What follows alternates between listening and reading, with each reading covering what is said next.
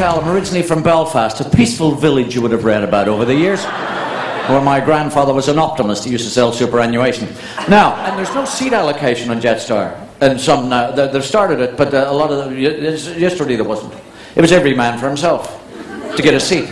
It's like the running of the bulls in Spain, isn't it? Somebody blows a whistle, 300 people run across the tarmac, fighting and kicking, biting at each other. Get out of the way. Get in this seat. This is my seat. I get on board and I've become one of them. I'm in there, I've strapped myself in. And a man came up, a good looking man, he came on, that's my seat. I said, don't start. I'm not fighting with you, but I'm not moving either. He said, fine, you fly it. You know.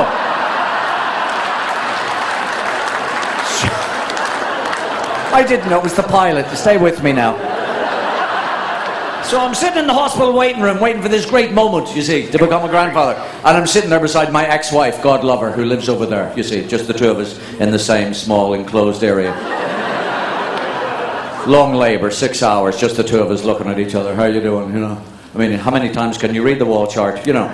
So now we're friends. We're, I'm sitting beside her. What was her name? Let me think. Um,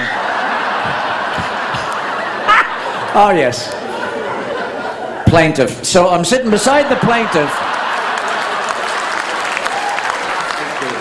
So, so Joshua is born. That's a biblical name, isn't it? Because they've gone on cycles. You say if you're a baby boomer and there's a couple in the room, you got the biblical name, didn't you? You got the Paul or the Simon or the Peter. Joshua was, is- was there. Judas wasn't popular back in the 40s. Not a great name for a job interview, I'm thinking to myself. Look, you have the qualifications, and I'm sure the other 11 in the sales force would welcome you. What was your first name again? Judas. Ooh. No, we don't have an opening. Try marketing though. They're looking for a two-faced backstabbing. But anyway, so.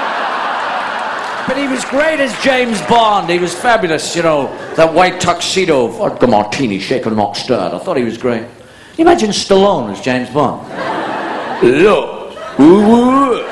Adrian. Michael Caine fought the Zulus. Why didn't he get it? That is right, Sean. And you won't believe. I've told you, put down that spear. You fuzzy wuzzy Zulu, you.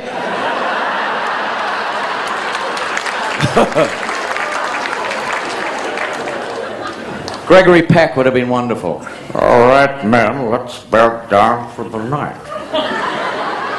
Tomorrow we meet the enemy. I realize there are 3,000 of them and only six of us. Now it's possible a few of your men will not come back. I only wish I could go with you. You imagine if Robert De Niro had played James Bond? The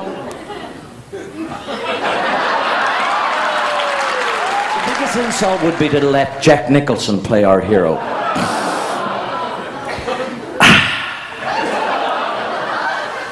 I want to cooperate with you here. 100% right down the line, for Christ's sake.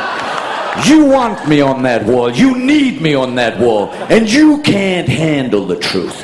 And your wife is so ugly, she'd make a train take a dirt road. You're dismissed. So, here comes Johnny!